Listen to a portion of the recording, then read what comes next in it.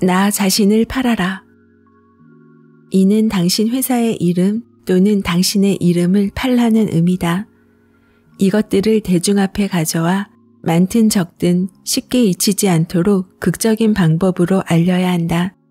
이때 중요한 것은 극적이 돼 좋은 느낌을 유지해야 한다. 쇼맨십은 세일즈맨의 이름과 상품을 동일시하게 하고 잠재적 구매자들이 호의적으로 생각하게 만든다. 쇼맨십은 세일즈맨의 개성을 유리하게 만들어주기도 한다. 인간은 원래 특이한 것에 마음이 끌리는 습성이 있기 때문이다. 안녕하세요. 미소영입니다. 오늘은 거절당한 순간 영업은 시작된다 두 번째 영상으로 무엇을 팔 것인가, 왜 팔아야 하는가, 어떻게 팔 것인가, 세일즈, 즉 영업을 하기 위해 지침이 될 만한 내용만 모았습니다. 들으실 때 의미를 생각하며 적용점을 찾아보세요. 그럼 책 속으로 들어갑니다. 세일즈맨의 14가지 재료. 성공적인 세일즈맨을 만들어낼 만한 공식은 없다. 어떤 세일즈맨도 여러 가지 장단점을 갖고 있다. 하지만 중요한 자질 하나라도 결여되어 있으면 실패하기 쉽다. 아이디어가 풍부한 사람이라면 그 중 하나라도 집중적으로 키워 성공적인 커리어를 만들어 나갈 수 있다. 나에게 세일즈맨을 위한 처방전을 만들라고 한다면 14가지의 재료를 섞을 것이다. 만약 한 사람이 이 요소들을 모두 가지고 있다면 실패할 걱정은 하지 않아도 될 것이다. 나 자신도 오랫동안 내 안에 이것들을 심으려 했지만 결코 쉬운 일이 아니었다. 1. 야망과 패기를 가져야 하지만 참을성 있게 멀리 내다봐야 한다. 2. 압박감 속에서도 판매할 수 있지만 고객에게 압박을 주어서는 안 된다. 3. 자신의 비즈니스에 정통하고 고객의 비즈니스를 자신의 일처럼 생각해야 한다. 4.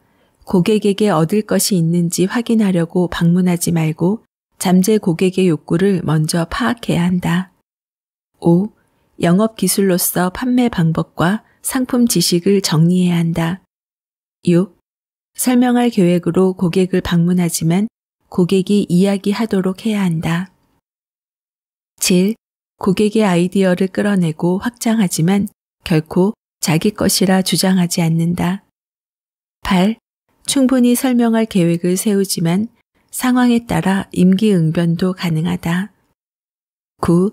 거절당하는 것보다 더 쉽게 판매할 수 있지만 거절하더라도 고객을 당황하게 하지 않는다. 10.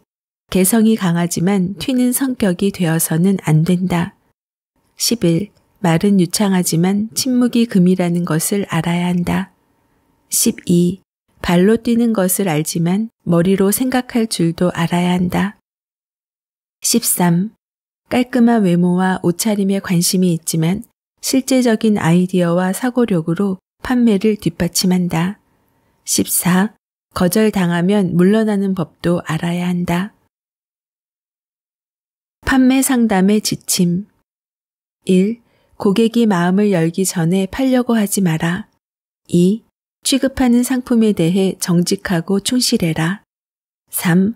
건넬 수 없는 것을 약속하지 마라. 고객의 불만을 사느니 판매에 실패하는 것이 낫다. 4. 경쟁을 이해하고 그것의 진정한 가치를 인정한다. 경쟁 때문에 판매가 이루어지지 않았다고 가정할 수 있지만 경쟁이 판매를 막았다고 생각하는 것은 잘못이다. 5.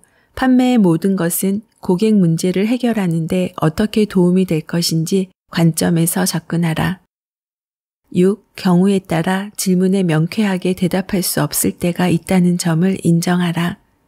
7. 고객의 거절에 낙담하지 마라. 거절당한 순간 영업은 시작된다.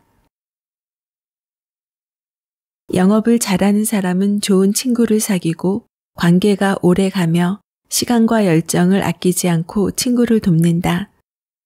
오늘날의 작은 씨앗은 미래의 거목으로 자라난다는 사실이다.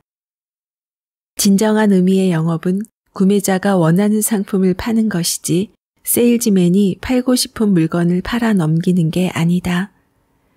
영업을 하는 한 거절은 숙명처럼 따라다닐 것이며 거절을 이겨내느냐 못하느냐에 따라 성과는 가늠할 수 없을 만큼 차이가 날 것이다. 세일즈맨은 그저 무에서 유를 창조하기 위해 잠재 고객에게 접근하지만 그는 초대를 받거나 격려받은 적도 없다. 모두 자기 발로 스스로 찾아가서 신세계를 개척해야 한다. 세일즈맨은 고객의 구매 결정에 동기부여가 될 만한 자극을 주어야 한다. 강요당하는 느낌이 들면 고객은 지갑을 더 굳게 닫아버린다.